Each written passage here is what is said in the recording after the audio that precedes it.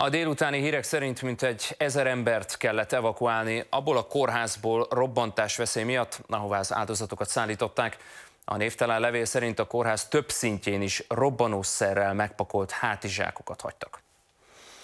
Március a barlangok hónapja, így ilyenkor a szokásosnál többen választják ezt az extrém sportot. Pénteken egy kambodzsai fiatalember a Mátyás-hegyi barlang folyosóit fedezte fel, amikor kicsúszott a lába alól a talaj. Kifelé már a Magyar Barlangi Mentőszolgálat hozta hordágyon, és hogy hogyan, azt önöknek most megmutatjuk. Elég egy rossz lépés egy barlangban, és hamarosan hordágyon találhatja magát az ember lekötözve 20 markos legény kezei között a felszín felé tartva. Így történt azzal a fiatalemberrel is, aki egy szervezett túrán lábsérülést szenvedett pénteken. A mentőszolgálat 27 fővel vonult a helyszínre. Először orvoscsoportunk szállt le, két orvosunk vett részt a mentésben, ők megvizsgálták a sérültet, megállapították, hogy a lábsérülése az mentést igényel, nem reponálható a helyszínen, és hordágyban hoztuk a felszínre. A Mátyás-hegyi barlang nem egy könnyed terep, hamar megtörténik a baj. A barlangi mentők épp erre a terepre specializálódtak, hiszen nem lehet egyszerűen csak kisétálni a sérültel.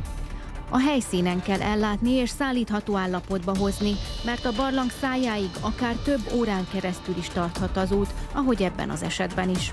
A barlang bejárátától a sérült nagyjából 400 méter távolságra és közel 40 méter mélységre volt. Útközben egy nagy szakadékon és két felhúzáson keresztül kellett a felszínre hozni a hordágyban a sérültet. A sérültet a felszínen az Országos Mentőszolgálat egységének adtuk át, és a Honvéd kórházba szállították további vizsgálatokra és ellátásra.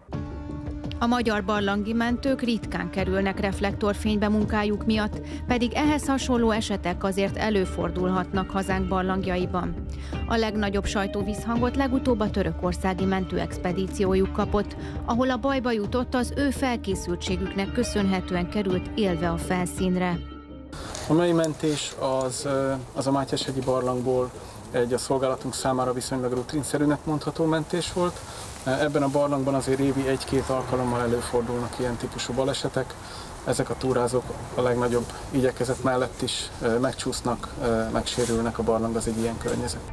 Amint a felszíre jött a csapat, a mentő is érkezett, és jó pár hálás készfogás után a sérültet mentővel szállították tovább. A sérült szerencsére nem volt egyedül, és elő sem fordulhat, hogy turista egyedül menjen barlangászni.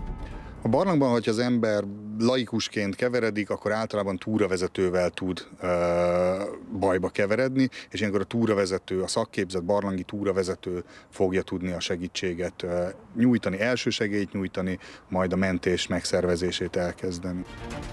A barlangi mentők azonban nem csak barlangból mentenek, hanem minden olyan nehéz terepen ők lépnek akcióba, amely nem vagy csak nehezen megközelíthető a mentők számára. A riasztás pillanatában pedig mindegyikük saját munkahelyén dolgozik, ahonnan azonnal elindulnak, ha megcsörren az ügyeleti telefon. Munkájukat önkéntesen végzik, így az adó 1%-ával önök is segíthetik munkájukat.